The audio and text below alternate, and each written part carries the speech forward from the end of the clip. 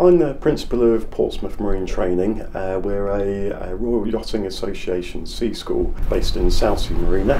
We also have a classroom at Chichester Marina as well. Uh, we're open to the general public and we believe that everyone is able to get out and enjoy the water. So I've been interested in the sea ever since I was a kid. It's, and it always has the same feeling with me. It just relaxes me and just, it seems the right place to be. It just makes me happy.